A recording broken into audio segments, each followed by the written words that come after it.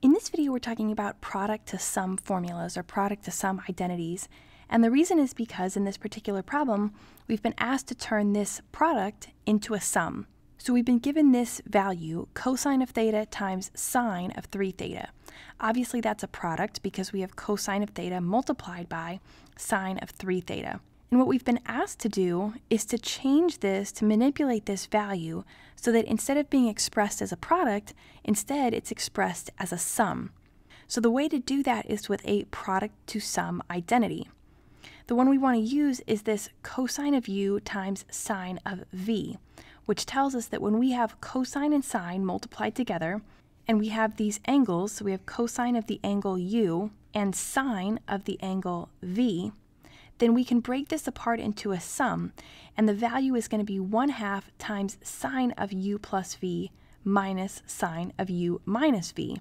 So you can see that v is going to get plugged into these two spots, and that u is going to get plugged into these two spots. So if we apply this formula to our example, cosine of theta times sine of 3 theta, we can say that this is going to be equal to, using the right-hand side of our formula, 1 half multiplied by sine of u plus v. So sine of u plus v. Well, u in our case is theta. Let's just go ahead and box those so we know. So u is theta and v is 3 theta. So when I see sine of u, I'm going to say sine of theta plus v. So v is 3 theta, so plus 3 theta. Then according to the formula, I'm going to have minus sine, so minus sine of u minus v. Well, in that case for us, that's theta minus 3 theta. And that's the end of our formula. So notice that this is already the difference of two sine functions. We just need to simplify it. So we're going to get 1 half times sine theta plus 3 theta is 4 theta. So I'm going to get sine of 4 theta. And then here, minus sine theta minus 3 theta is negative 2 theta, so I'm going to get negative 2 theta. Now technically I could leave the answer in this form, but it's a little messy having this negative angle. So in order to fix that, I can bring in this extra formula, which tells me that sine of negative u is equal to negative sine of u.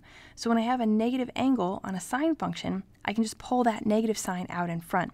So I can take this negative sign bring it out in front of the sine function, and the negative times the negative is going to be a positive. So I'm going to be left with 1 half times sine of 4 theta, and then instead of minus, I'll have plus sine, and we brought that negative sign out in front.